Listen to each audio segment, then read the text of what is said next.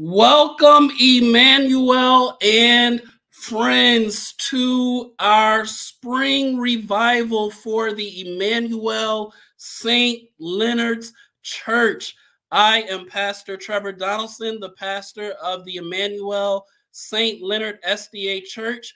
And if you are watching on YouTube, welcome. If you are watching on Facebook, welcome. If you are watching this as a rerun, guess what? Welcome to you as well. Welcome to our spring revival, where our theme for this particular week is unleashed.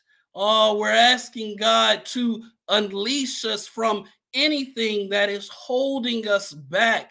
Uh, we want to be unleashed to be better witnesses, unleashed to be better Christians, unleashed from those weights and those sins that so easily beset us.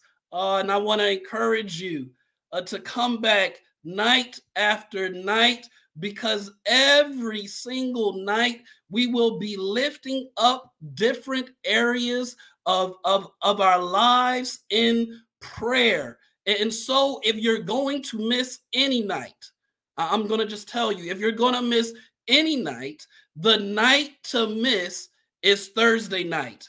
Why? Of course, because we will know we will not be here on Thursday night. We will only be here on Sunday night, Monday night, Tuesday night, Wednesday night, and then on Friday night. And then, in addition to that, I also want to tell you about a free Bible school that we have.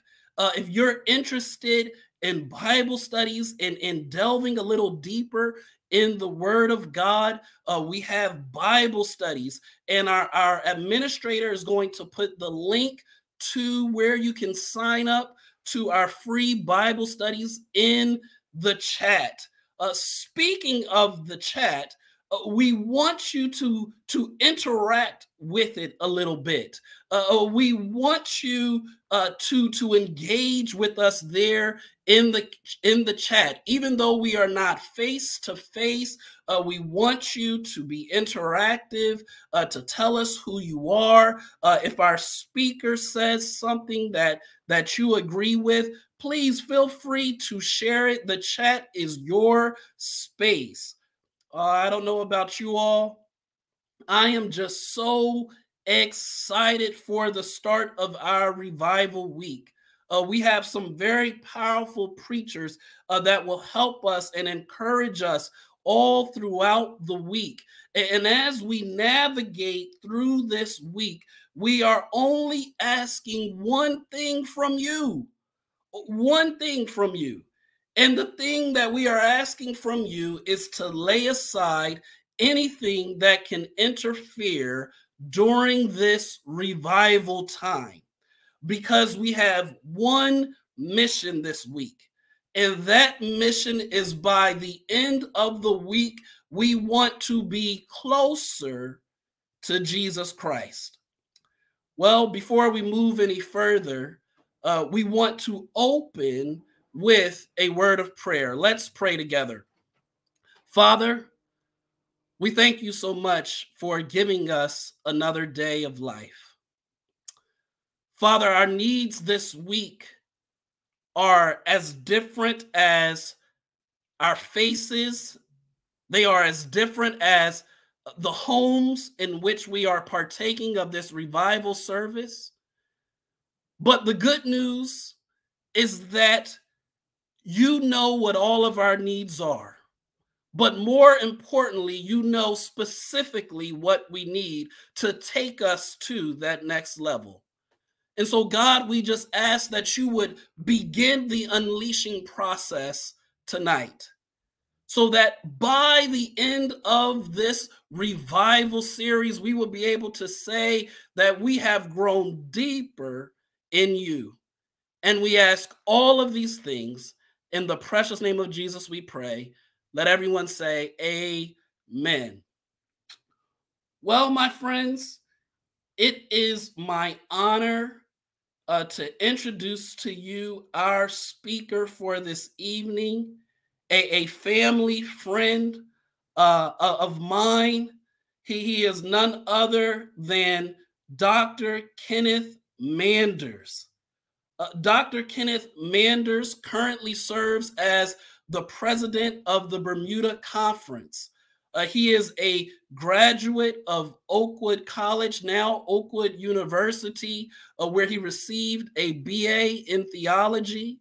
Uh, Dr. Manders also graduated from Andrews Theological Seminary, where he received a Master's of Divinity as well as a doctorate in church leadership. The Lord has tremendously blessed Dr. Manders to preach all over the world and all across these United States of America, uh, baptizing men, women, boys, and girls into the kingdom of God. Uh, Dr. Manders, he, he loves his family. He is married to his wife, Claudette. And from their union, they have been blessed with three wonderful sons Andre, Stephen, and Joseph. But above all else, Dr. Manders loves Jesus Christ. And after our special music, the next voice that you will hear will be none other than Dr. Kenneth Manders.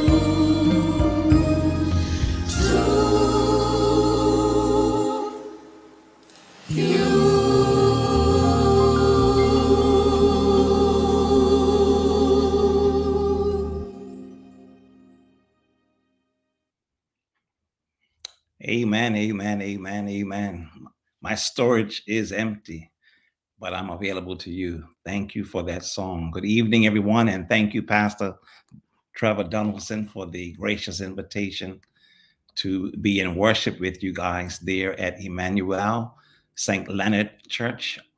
Uh, we want to thank God for this marvelous opportunity that we have to be in worship with you at the beginning of this revival. And um, I trust and pray that as we enter into this experience that we would indeed be revived by God's Spirit. I'm just excited about the opportunity. I um, am sitting here, um, blessed, highly favored of the Lord, and thankful for His, his um, presence in my life. And I trust and pray that you are coming to this platform like I am, um, wanting to hear God's voice and to be led by His Spirit and to be filled each night and um, to be drawn closer to Him. I want to commend your pastor and leadership of your church for the the theme of your meeting, unleashed. I love it, unleashed. Um, I see you, Dawn. Good to see the Donaldson family. Want to thank God for my friends there. Um, we are connected um, as brothers and sisters in Christ, and it's good to know that you can be miles away from home and still be at home. And the Donaldson family have embraced me and my lovely wife, Claudette. And we want to thank God for um, Dr. Jean Donaldson and um, Pastor Trevor Donaldson and the entire family for your love and your ministry toward us over the years. Um, thank you so much again for um, giving me the opportunity to share with you. I am new to StreamYard. I wish I could see some faces in the place. And um, but God's promise to be with us tonight. And um, with his presence and with his permission and with his spirit, I trust and pray that we will hear what the spirit has to say um, to our hearts tonight. Before we go into the message tonight, let's have a word of prayer. In fact, let's read a text of scripture that I would love to read in your hearing. Trust and pray that if you have your tablet, your phone, or your Bible, that you would join me in the book of Revelation, chapter 1, one of my favorite um, passages of scripture, Revelation chapter 1. And I want to turn our attention to verse 18 and then skip over to chapter 2 and uh, we want to read from chapter 2, one or two verses there, 8 and 9. But let's begin with Revelation chapter 1, verse 18. The Bible says, I am he that liveth, and I was dead, and behold, I am alive forevermore. Amen. And have the keys of hell and of death. And then, chapter 2, the Bible lets us know in verse 8, John writing to the church in Smyrna, and unto the angel of the church in Smyrna, write these things, saith the first and the last, which was dead and is alive. I know your works and tribulation and poverty, but thou art rich. You're poor, but you're rich. And I know the blasphemy of them which say they are Jews and are not, but are of the synagogue of Satan. Fear none of those things which thou shalt suffer. Behold, the devil will cast some of you into prison that he that you may be tried, and you will have tribulation ten days. Be thou faithful unto death. I will give thee a crown of life. I am he that liveth, was dead, and behold, I'm alive forevermore. I've tagged this text tonight because he lives. Because he lives. Let's pray. Father, take now lips of clay. Speak a word to your people, I pray. In Jesus' name, let God's people say, Amen and Amen. Today, I shine my sermonic spotlight on this text, which lets us know that we serve a risen Savior, that He is the resurrection and the life, that in Scripture He is the source of life. He said of Himself, I am the way, the truth, and the life.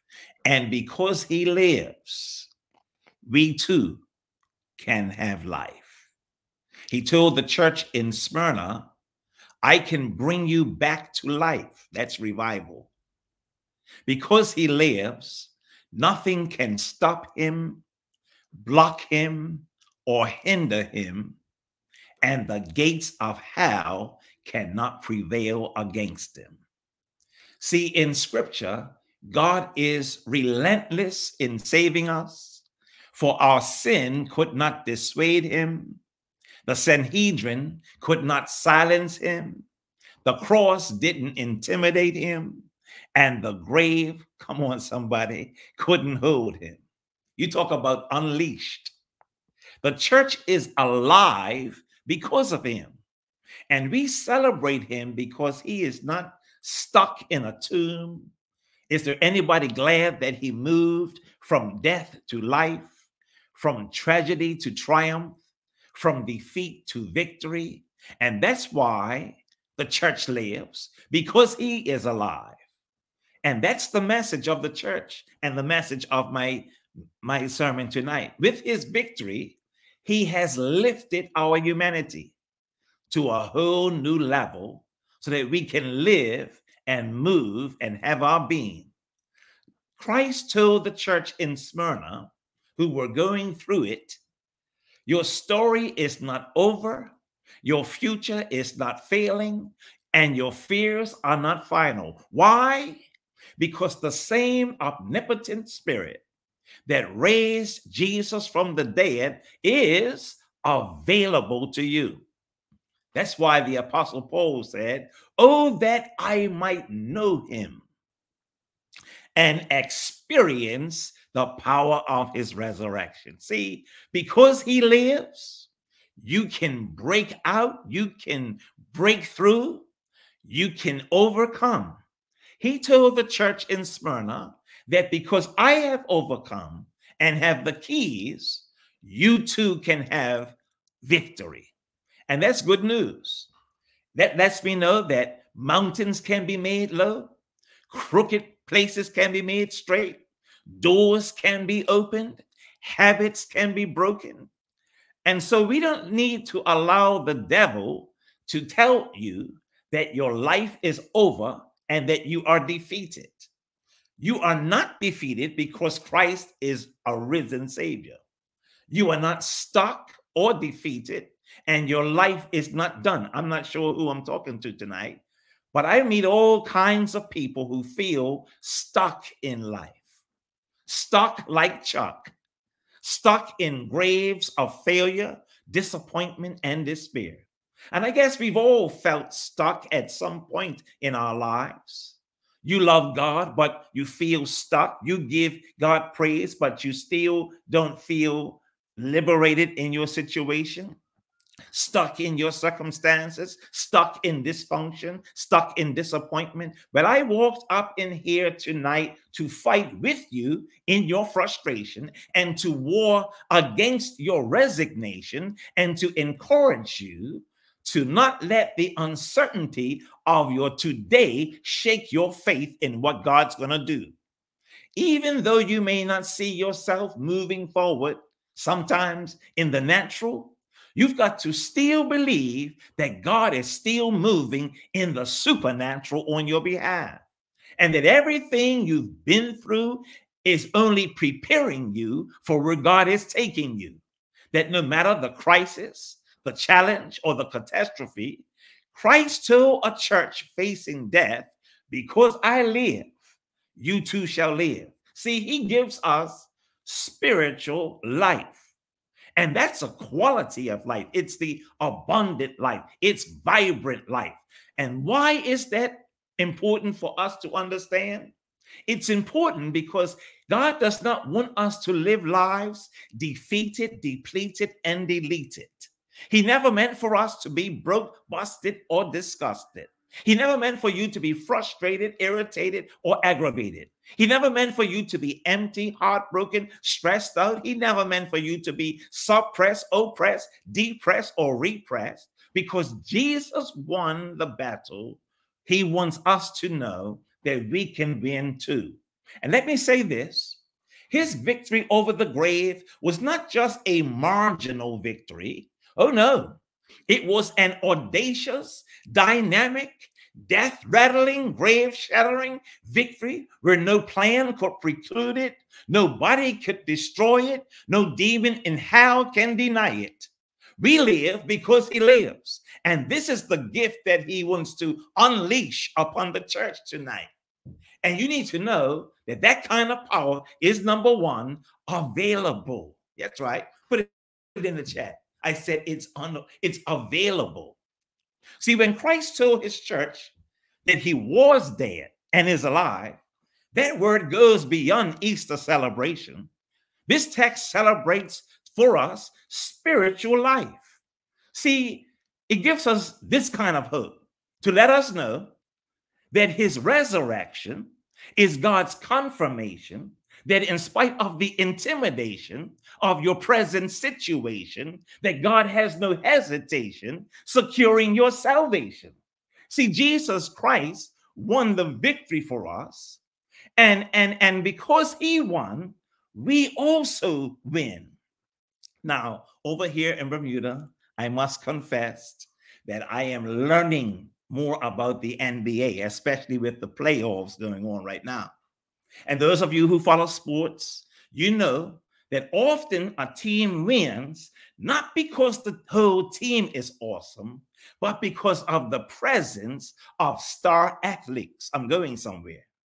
Every member of a championship team does not make the same contribution. You know it's true. I, I mean, LeBron will tell you that. Uh, Kobe, the late Kobe Bryant has demonstrated that. Uh, KD is in trouble right now. I'm sorry if you're a Nets fan. Let me go back to an era when I first saw basketball. I was watching The Last Dance as a another game just went off on my television, The Last Dance. And the coach, Steph Curry, was asked by a player, as a player rather, when he was playing for the Bulls, what is the most unique thing about your team after winning five championships. And he stared as if he was trying to gather an answer. And then he said it. I heard it just this evening. He said it, and I put it in my notes. He said, I guess we have Michael Jordan. Probably without question, or arguably the GOAT, maybe, of all time in basketball. Why? Because he was better than everybody that came before him, to my understanding. And he has set the standard for everybody coming after him. But the one thing I liked about watching Jordan was this that no matter how behind the Bulls were, they were to put, if they were to put Michael Jordan back in the game, a comeback was inevitable. Oh, can I preach that? And I want to tell you that our humanity was far behind on points, weak, wounded, and weary. You could say we're in the fourth quarter, down to the two minute buzzer, but God called for substitution. And thank God he put Jesus in the game. And I want to say to you tonight a comeback was inevitable. He defeated death hell, and the grave, and became responsible for our victory. And because we have accepted him as our victory, we are on the winning team.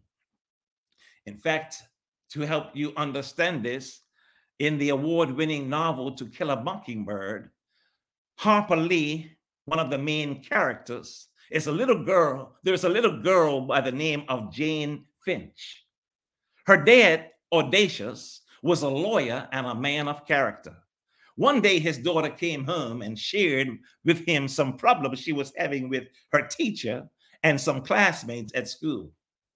But to broaden her understanding and to help her manage the situation that she was in, her dad gave her some sound advice. She said, he said, baby, listen, you got to, you got to learn the trick. You got to learn uh, uh about life. And he said, um, in order to get along with all kinds of people, you've got to really understand. You never under, really understand the person until you climb in their skin and walk in their shoes. I just told you something just, just now. I need you to know something. And that's exactly what Jesus did. He, he, he climbed in our skin and he walked in our shoes and and he came on pavement level dropped himself 40 and two generations to go through what we go through to understand our pain and to overcome where we fell down. I'm so glad that he came in our hood uh, to pay a debt that he didn't owe because we owed a debt that we could not pay. And and aren't you glad that he left perfect celestial and assumed the pain of the terrestrial. That the God above us came to walk with us because he is for us. See, Jesus Christ is was our proxy in birth, life, death, and resurrection. And that's why I want to say to you and not miss it, his victory is our victory. I hope you understand that. See, this is illustrated further in the Old Testament in the story of David.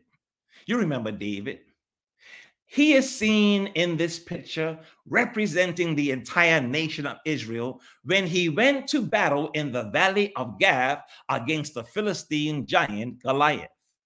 He stood alone on the battlefield, but when God gave him the power to overcome that giant, his victory became victory for all of Israel.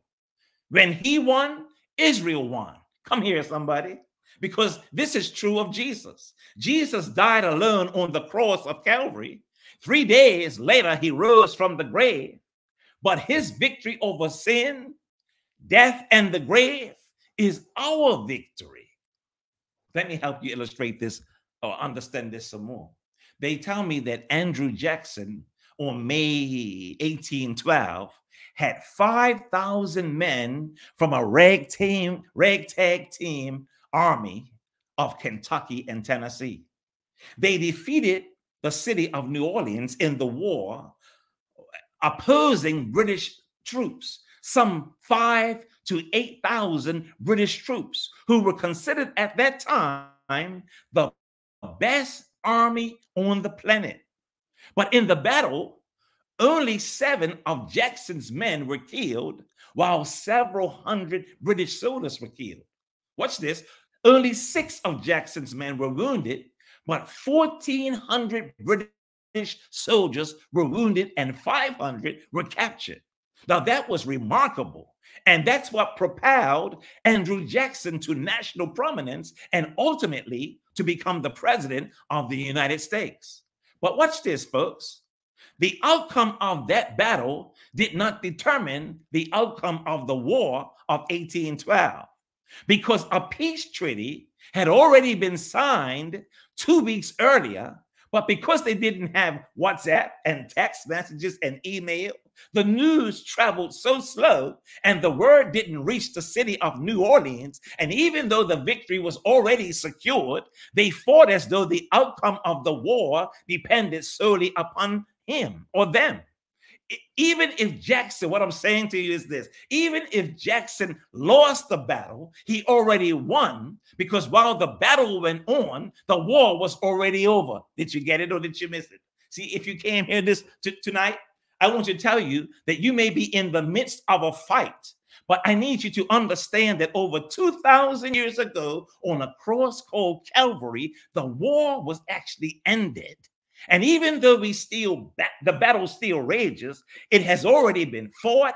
The victory has already been secured. The door has already been opened. The way has already been made. And that's why we are not fighting for victory. We are fighting from victory because Christ has unleashed the power of God and it's available to every trusting child.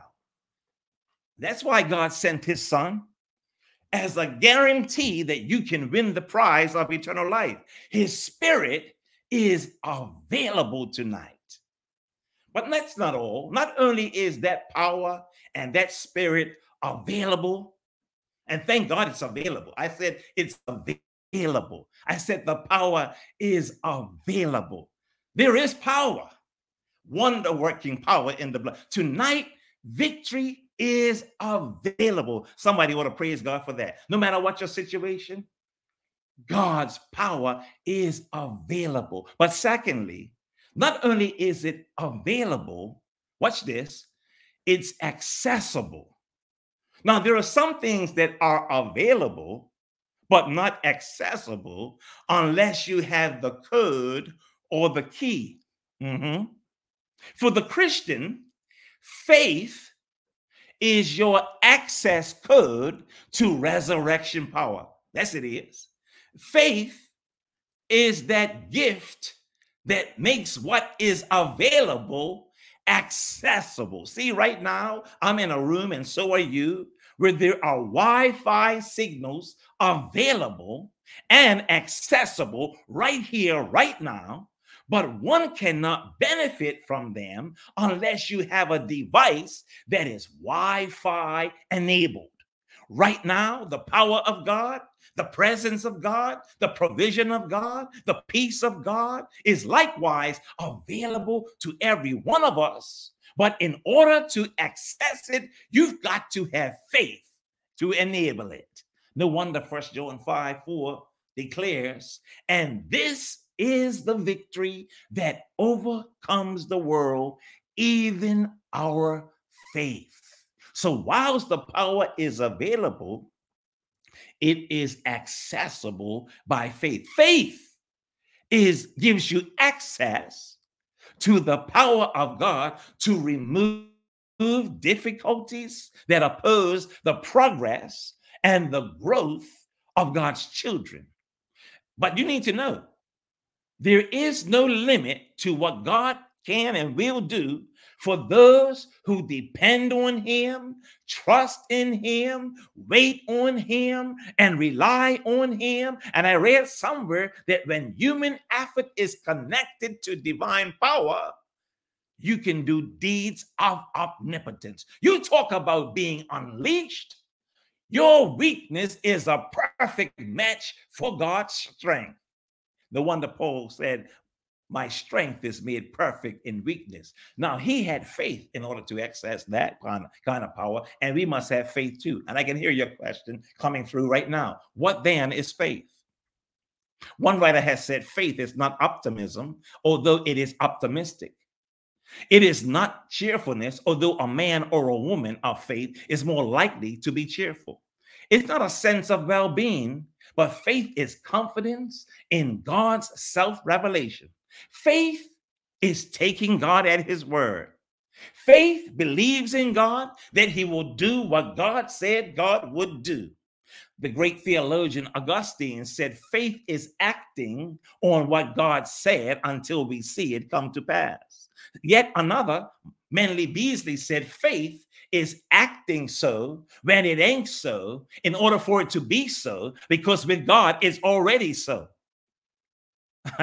Faith, someone else said, is functioning like it already happened before it happens until it happens. I like what Jesus said. He said, when it comes to your eternal destiny, when it comes to the things of God, when it comes to things of God that are available and accessible, he said, Whatever things you desire when you pray, believe that you receive them. And watch this you shall have them. Believe and you shall receive. That word receive in that text, in the Greek, is in the aorist tense. Thank you, Dr. Malongzong.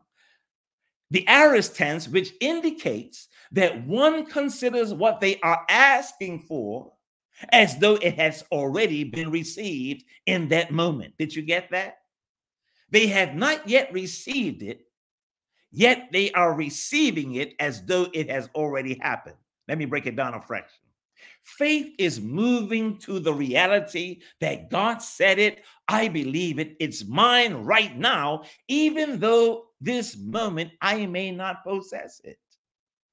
One demonstrates faith when we are willing to trust God to open the way for, for Him to accomplish His purpose in us. Faith is trusting God, relying on Him to exercise His promise of fulfilling His power. So when we come tonight with a theme called Unleashed, I have a strong feeling, Pastor uh, Trevor Donaldson, that that theme is ready to be activated in the Emmanuel church to every believer. Faith, one writer said, is a personal dependence, watch this, on the adequacy of God's grace. But faith is not mere passive dependence. It reaches out to grab God's promise in response to God's invitation and it appropriates his grace into the life. Faith is seen when one puts their trust completely in God and relies on Him. Faith is trusting God, believing that He loves us, knows what's best for our good. It is this faith that allows us to see what is possible. But let me move on. I have found that many people, instead of operating in the realm of faith, have many challenges because they are in dialogue with their doubts while they dismiss a conversation with their faith. And I want to say to those of you who are on that side, can you show me anything that doubt has accomplished? Doubt never charted an ocean. Doubt never tunneled through a mountain. Doubt never constructed a highway. Doubt never built a school. Doubt never completed an education. Doubt never raised up a church. Doubt never won a soul to Christ. Doubt just doubts. It cannot attain or obtain. It can only complain. It cannot conceive or achieve. It just doubts. Doubt just doubts. But faith will get you a victory because by faith, Abel offered a sacrifice to God and he received it. Noah, by faith, built an ark and his family got saved. By faith, Abraham went seeking for a city, and he will be in the kingdom of God. By faith, Jacob wrestled down an angel and got a name change. By faith, Joseph rose from the pit and went to the palace and dreamed his dream. By faith, Moses took a rod, split the Red Sea, and made a highway out of nowhere. By faith, Joshua walked around the walls of Jericho until they came tumbling down. And by faith, Jesus died a tragic death on Friday, rested on Sabbath, but early Sunday morning, he got up from the grave with the keys of death, hell, and the grave in his hand with all power. And that power has been unleashed for God's children. So faith is your access code to the power of God. Is there anybody ever tried him and tested him and found out that faith in God makes you come through? That with faith in God, you have found out that God is dependable, reliable, available, unstoppable, and accessible. I like what one man said God is like Coca Cola, He's the real thing. Like Ajax, He's stronger than dirt. Like Adidas, impossible is nothing to him. Like American Express, you don't want to leave home without him. Like Visa, he's everywhere you want to go. Like Scotch tape, you can't see him, but you know he's there. Like GE, he brings good things to life. Like Bayer aspirin, he can t- take your pain away. Like nationwide, he is on your side like the Energizer Bunny, he just he will keep you going and going. And like Delta, he'll keep you climbing higher. And I like this one. Like Timex, you can take a licking, but keep on ticking. Can I get a witness in this place? That you have found out that God is not only available, but his power, praise God, is also accessible. But thirdly, his power is not just available and accessible, but it is abundant. God gives us power to fulfill his mission in our lives. Now, many people may judge you and feel that you are deficient, but when Christ activates that power in your life, I have found that he, he gives you the abundant life. That's right, a quality of life.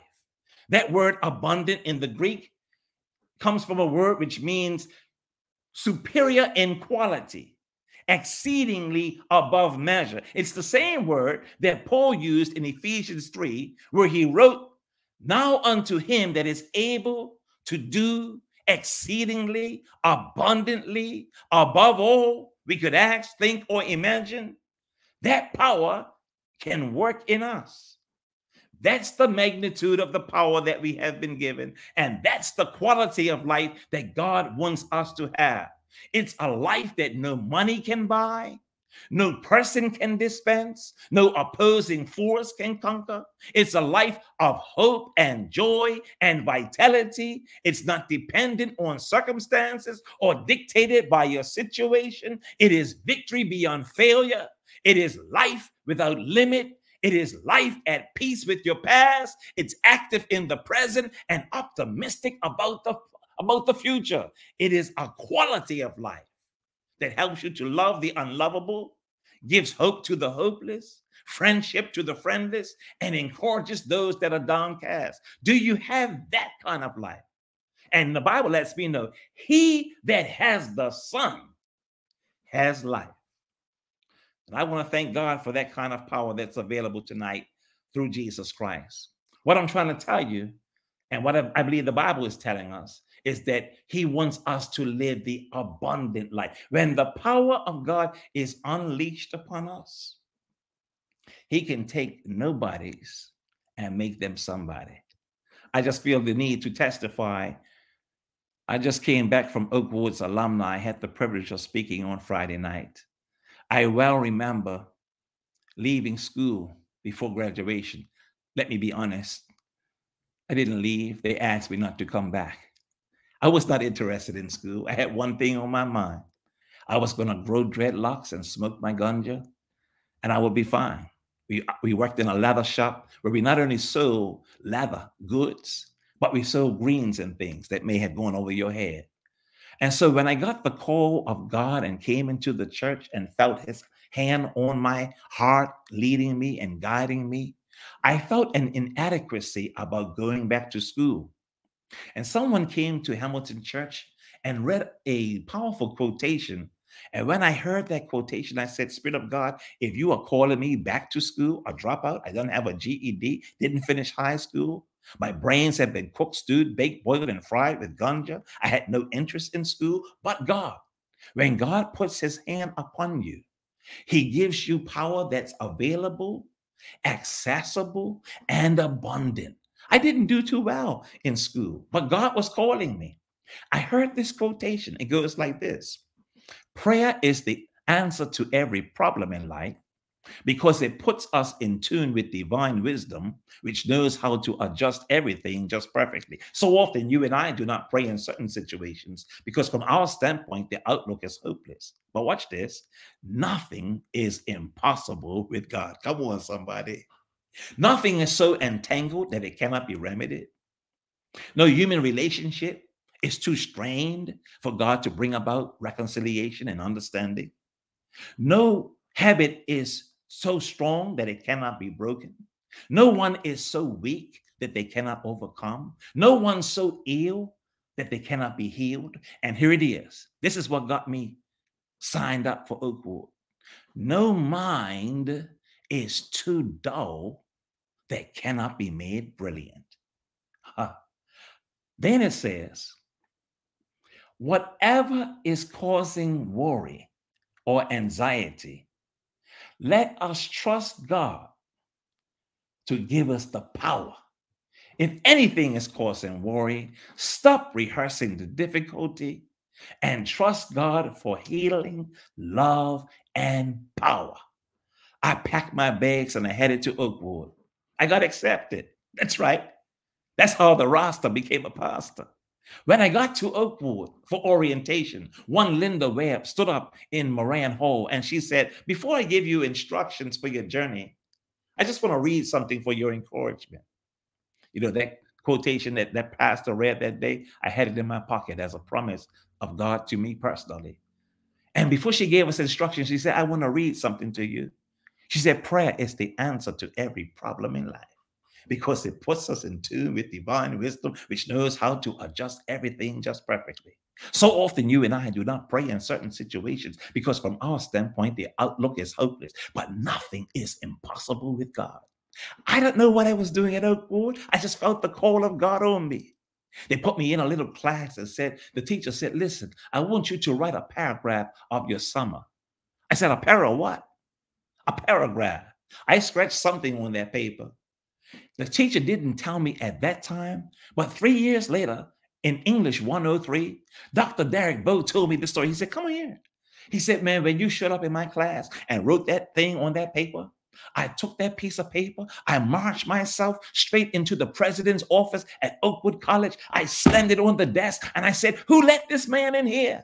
He said, But three years later, I know that there is a God somewhere because there is power available to crack open and kick open dead brain cells. You can't tell me that God is not a good God. He is available, He's accessible, His power is abundant. I graduated from Oakwood, I was on the honor roll, the dean's list, I graduated magna cum laude.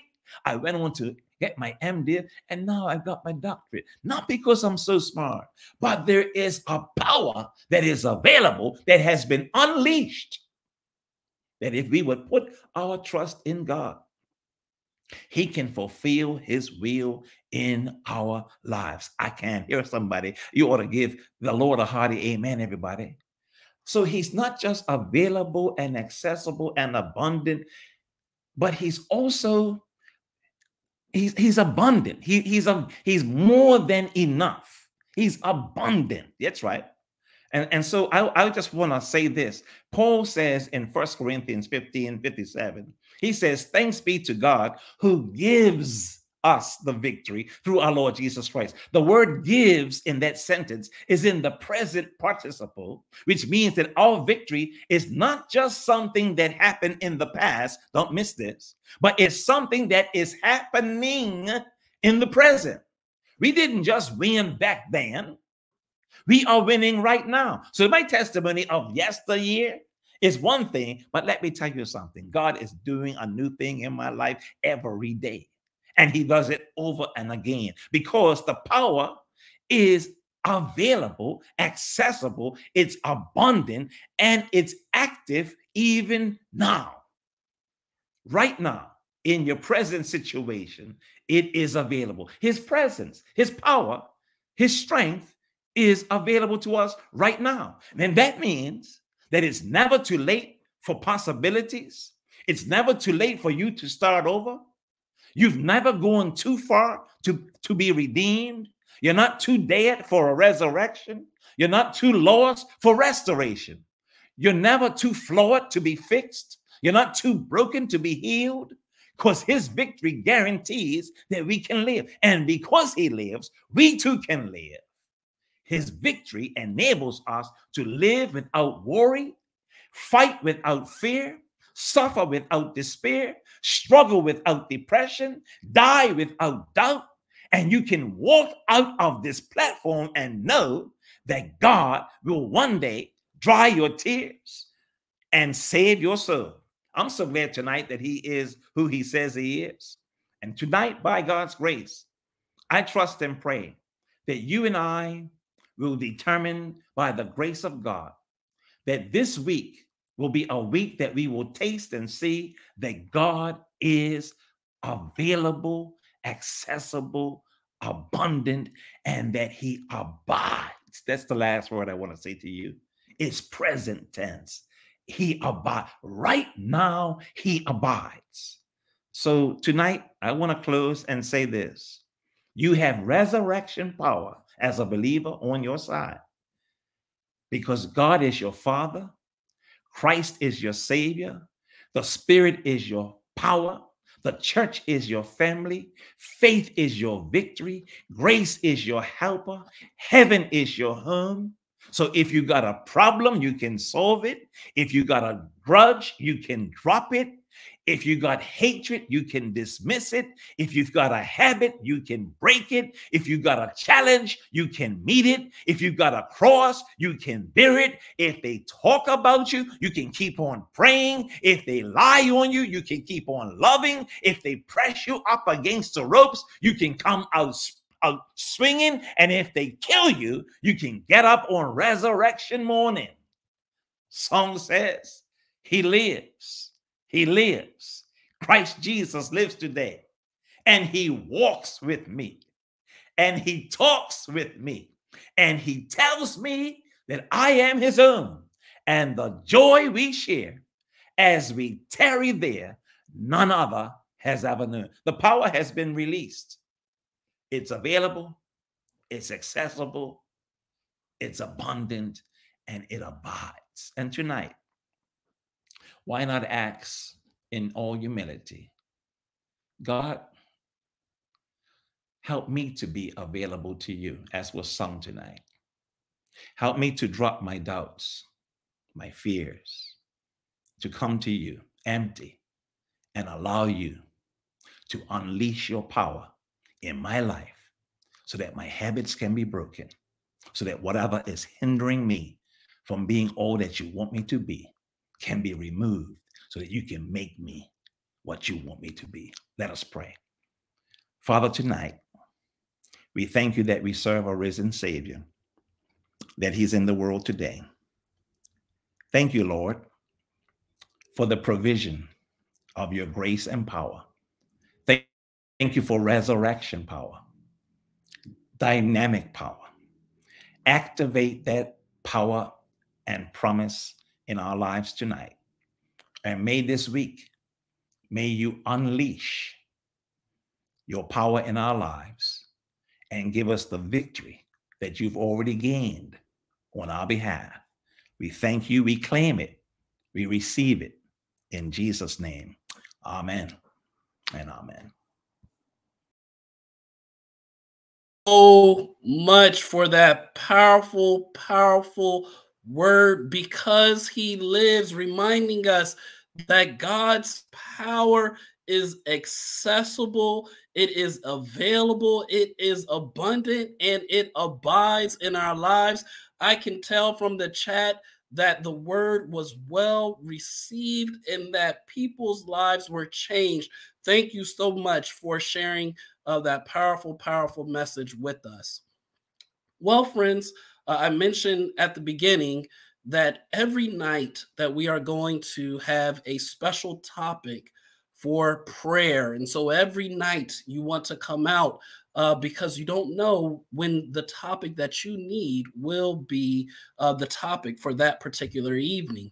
And tonight's topic, we are going to pray for our nation, our leaders, and our world. All you have to do is look at the news and you can see that our world is in disarray. And so at this time, Elder Levi Harad is going to come on and he is going to lead us in our prayer for tonight. Let us take our prayer posture this time. Father God, we're thankful first of all for the word we hear tonight. And Lord, we want to pray for this nation, Lord, uh, the political discord, the social divisions, Lord, the racial discord, Lord, and the continued inequities among peoples, Lord. We want to pray for peace, Lord. We want to pray for justice, that our nation may live up to the Constitution in which it was written, Lord. We want to pray also for, Lord, those uh, countries, those cities, those states that are experiencing natural disasters and fires and tornadoes and flooding across the world, Lord. We ask that you bless and bring relief, dear God, as only you can We pray for nations, Lord, who experiencing drought and disease. We ask that you bring healing, Lord, and bring water, dear God. To pray for the leaders of this world, Lord, that they may learn compassion and that they may learn justice, dear God, and that they may show humility, Lord, that they know that they too have to answer to a higher power than themselves. And Lord, we're especially pained and even angered and, and saddened by what we see happening in Ukraine, dear God. We pray for those people, Lord. The the the, the demonic attack, Lord, that just leads to unspeakable suffering and pain, Lord, due to the madness of one individual. But Lord, you are a greater power than any one man. We ask that you go and bring peace, Lord, and bring a relief to all that suffering, dear God. Bless, Lord, and, and strengthen and guide and give direction, Lord. And Lord, we pray for and pray for just the just just the the relief, Lord, of so much pain and suffering going on in this nation, dear God. The divisions, Lord. We pray for unity. We pray for wisdom. We pray for understanding, Lord. We ask that people learn to communicate with one another, to talk with one another, to share with one another. And dear God, we're placing it in your hands because nothing, Lord, is too hard for you. And we thank you for the promises of your word, Lord, that says, though the fig tree should not blossom and there was no fruit on the vines, though the yield of the olive should fail and the field produce no food, though the flock should be cut from off the fold and there was no cattle in the stalls. And he says, Yet I will exalt in the Lord. I will rejoice in the God of my salvation.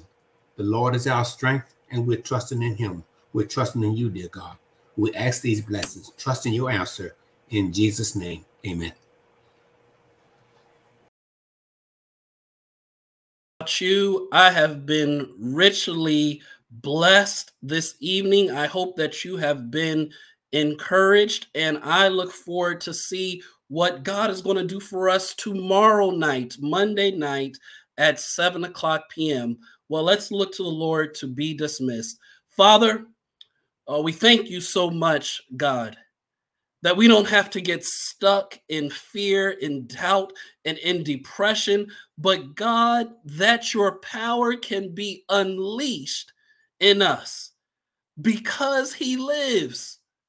Uh, your power can can root out those areas in our lives so god i ask even now that your holy spirit would work on our hearts and on our minds God, keep this word fresh in our minds. But then also, God, help us not to keep it to ourselves. Please help us to share it with someone else. Father, I ask that you would keep all of us, watch over us, and protect us until we are able to come together again. And we ask all of these things in the precious name of Jesus, we pray. Amen and amen. Good night, everybody.